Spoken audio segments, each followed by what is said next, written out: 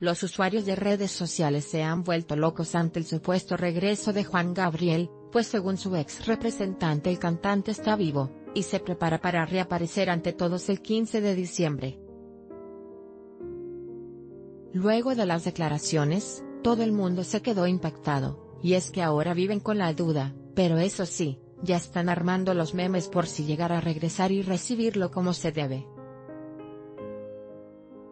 Lee también, Guillermo del Toro se despide de sus monstruos por infernal incendio en California. El divo de Juárez no se esconde porque no es un narco. Joaquín Muñoz, el ex representante, declaró que el divo de Juárez simuló su muerte, y dijo que se encuentra en perfectas condiciones, y que se prepara para aparecer públicamente el 15 de diciembre.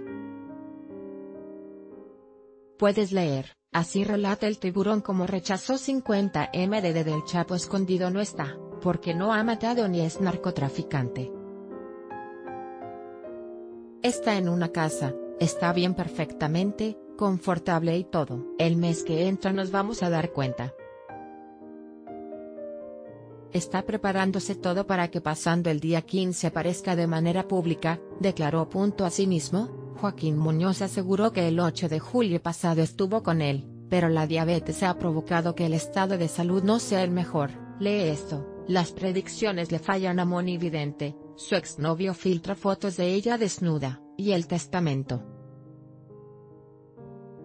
Sobre los conflictos entre la familia de Juanga por los bienes y dinero, dijo que el intérprete de Amor Eterno tiene el testamento, y nadie puede quedarse con su dinero porque él está vivo. Señaló que Iván Aguilera intentó cobrar regalías y dinero en las sucursales bancarias pero no pudo y acusó que junto con su esposa Simona han intentado quedarse con el dinero, el cual lo transfirieron a Rumanía.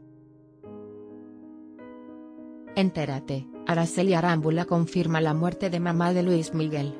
Además de haber sido su manager, Joaquín Muñoz siempre ha declarado que fue pareja de Juan Gabriel. Aquí más memes.